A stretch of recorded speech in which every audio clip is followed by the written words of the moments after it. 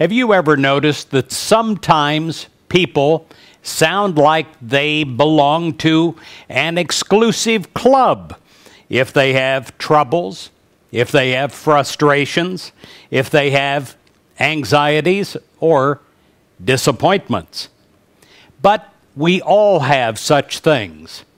And if we have such things in our life, we have to realize that they are just a part of living.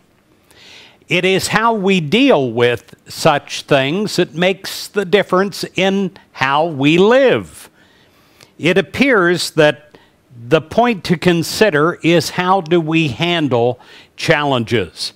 There are a few ways.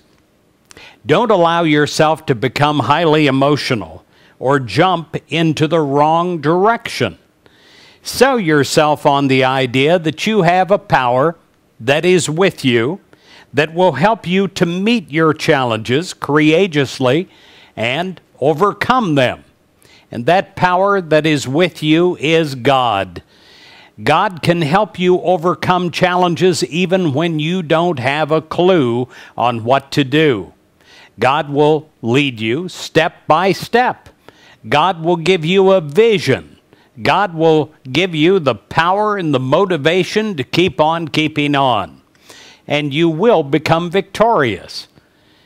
If you do not turn to God, many times you just sit down and give up.